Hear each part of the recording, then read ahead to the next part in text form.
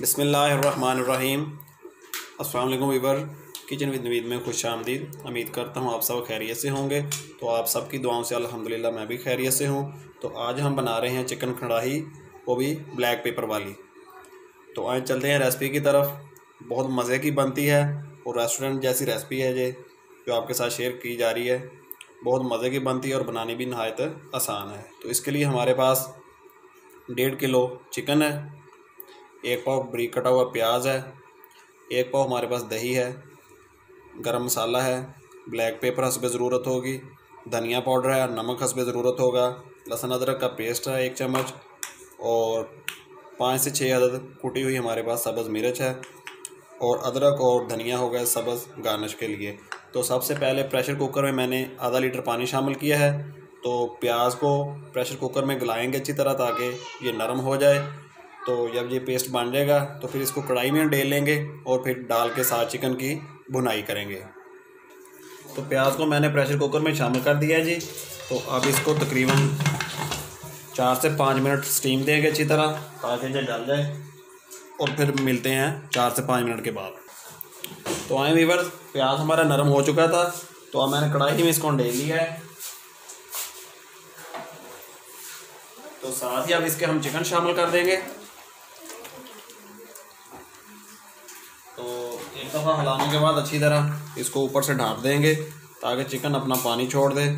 और जो प्याज में कसर थोड़ी सी रह गई है तो वो भी साथ इसके हल हो जाए। तो साथ ही अब मैं इसके शामिल करूँगा। लहसुन का पेस्ट तो अभी वो भी साथ ही इसके हल हो जाएगा, और चिकन की जो स्मेल है ना, वो ख़त्म हो जाएगी। इसमें ये रहेगी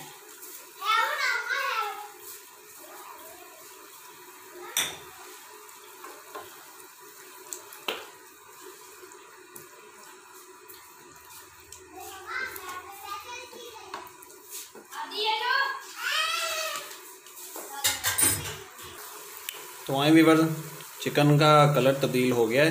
तीन से चार मिनट मैंने इसको दम पे रखा हुआ है। तो कुछ जो प्याज का पानी था वो भी ड्राई हो चुका है। तो अब हम इसमें हंसब ज़रूरत कुकिंग ऑयल शामिल कर देंगे। इसमें तो सब्ज़ मिर्च शामिल करेंगे। मसाला जार शामिल करेंगे। तो अच्छी तरह इसकी भुनाई करेंगे।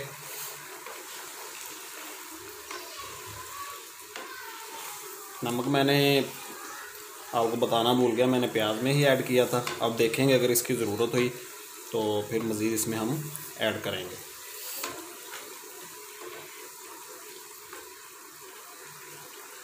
सब्ज़ मिर्च जो है ना, वो शामिल कर देंगे।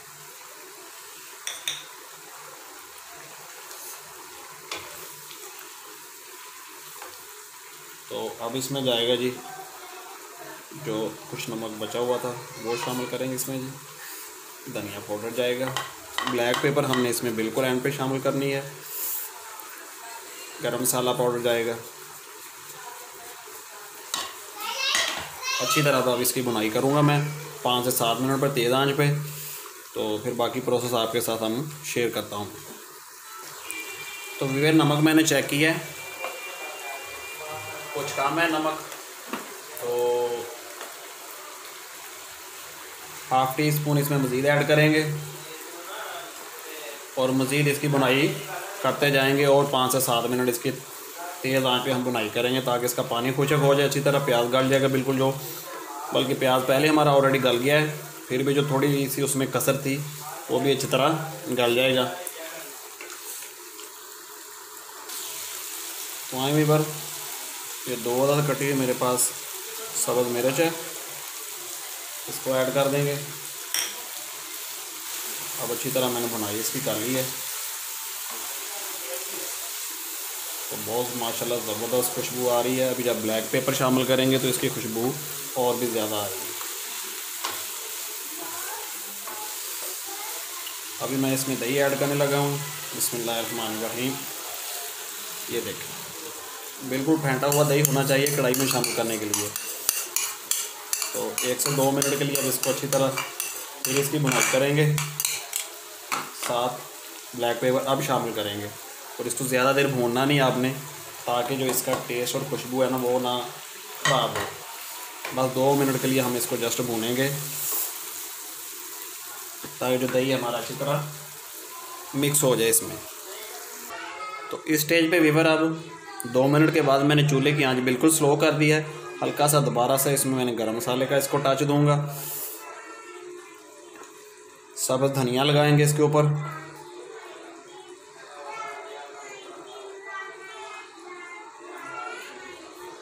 तो ऊपर से अदरक लगाएँगे। कटा हुआ ब्रेक तो कढ़ाई हमारी जो है आज ब्लैक पेपर वाली ना, अल्हम्दुलिल्लाह। वो तैयार है जी। एक दो मिनट के लिए मैं इसको हल्का सा दम दूँगा तो फिर आपके साथ सामने इसको डिश आउट करेंगे। चलें वीवर्स अल्हम्दुलिल्लाह, आज की जो ब्लैक पेपर वाली चिकन कढ़ाई थी हमारी तैयार हो चुकी है, बहुत मज़े की बनी है और बहुत ज़बरदस्त लुक है। मैं उम्मीद करता हूँ कि आज की रेसिपी आपको ज़रूर पसंद आएगी। वीडियो को लाइक ज़रूर कर दें, दोस्तों के साथ और फैमिली मेंबर के साथ शेयर ज़रूर कर दें। और जो हमारे चैनल पर नए हैं मेहरबानी फरमा कर हमारे चैनल को सब्सक्राइब कर दें और घंटी वाले बटन को ज़रूर दबा दें ताकि इस तरह की मज़ेदार और नई नई रेसिपीज़ का नोटिफिकेशन आपको टाइम पर मिलता रहे। तो एक नई वीडियो आने वाली वीडियो तक आपसे इजाज़त चाहेंगे। अल्लाह पाक हम सब का हामी नासर हो और अल्लाह पाक हम सबको अपने सम्मान में रखे जी। अल्लाह हाफिज़।